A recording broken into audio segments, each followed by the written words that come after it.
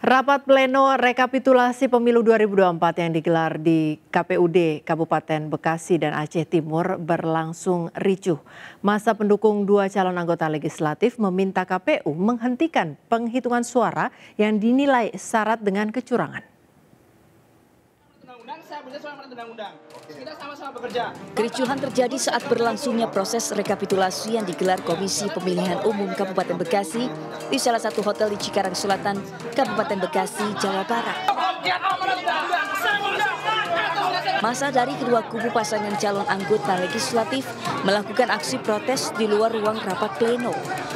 Pihak kepolisian dan TNI yang mengamankan jalannya rapat pleno terpaksa mengevakuasi sejumlah masa yang menggelar aksi protes hingga membuat kericuhan.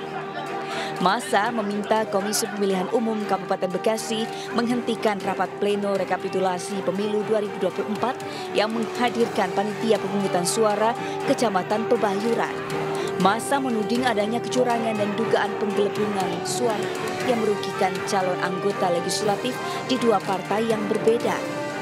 Pendukung calon anggota legislatif yang melakukan aksi proses meminta KPU Kabupaten Bekasi melakukan hitung ulang suara rekapitulasi C1 melaporkan hal ini ke Bawaslu ya, ya hmm.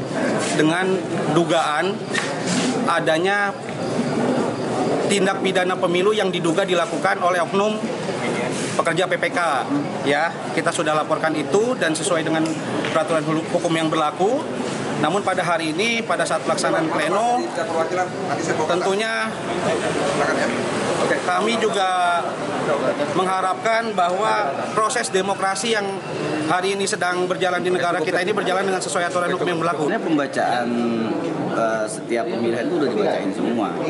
Jadi pas ketika akhir di uh, apa namanya ada saksi dari PDI menyampaikan apakah kemudian nanti dalam proses uh, apa di itu bisa boleh ada pembetulan bagaimana yang tertib pernah kita bicarakan gitu kan ya ini yang yang menjadi akhirnya menjadi apa riak-riak lah yang dilakukan dengan terjadinya kericuhan rapat pleno rekapitulasi pemilu 2024 Kabupaten Bekasi terpaksa dihentikan dengan jangka waktu yang belum ditentukan.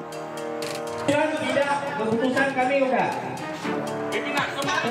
Sama halnya di wilayah Aceh, perdebatan sengit juga terjadi di rapat pleno terbuka rekapitulasi dan penetapan hasil perhitungan perolehan suara pemilu tahun 2024 tingkat kabupaten di Aceh Timur Aceh. Kericuan terjadi saat saksi dari partai lokal PAS dan saksi partai Golkar protes keduanya tidak terima hasil suara yang diduga tidak sesuai dengan data C1 yang mereka pegang. Keduanya dikeluarkan dari sidang pleno lantaran para saksi meminta agar hasil BA1 yang tidak sesuai dengan data yang mereka miliki untuk diperbaiki langsung dalam rapat pleno. Namun Komisi Independen Pemilihan Aceh Timur menolak untuk melakukan perbaikan dan mengatakan agar para saksi tidak terima untuk mengisi form keberatan untuk diselesaikan secara hukum yang berlaku. Meski diwarnai protes dan kericuhan, namun tidak menghambat jalannya sidang plano hingga rekapitulasi perhitungan hasil suara pemilu 2024 selesai. Tim Liputan Anyus melaporkan.